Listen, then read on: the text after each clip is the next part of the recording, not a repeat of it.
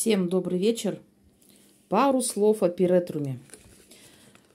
Посмотрела в интернете, как его сажать. И в рекомендациях написано, так как семена этого цветка мелко, мелкопыльные, по-моему, так написано, то нужно его смешать с влажным песочком, рассыпать по уплотненной влажной поверхности и сверху засыпать 3-5 миллиметров грунта.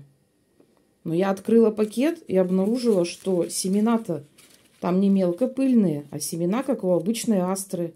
Ну, не буду сейчас доставать, ну, крупные семена. И посмотрела, что оно тоже из семейства, из семейства астровых. Вот посадила в майонезную банку, уплотнила грунт, пролила, сделала там такие дырочки небольшие, в дырочки разложила семечки.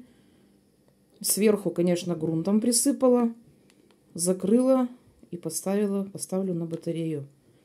Что-то я вообще не поняла. То ли здесь семена не такие, не те лежат, то ли в интернете информация не такая. Как-то странно. Вот кто выращивал такие ромашки, напишите, пожалуйста, в комментариях. Так-то хочется такой он красивый цветочек. Красивый, высокий, 70 сантиметров до 10 сантиметров диаметр ромашки, цветочка. Всем пока-пока.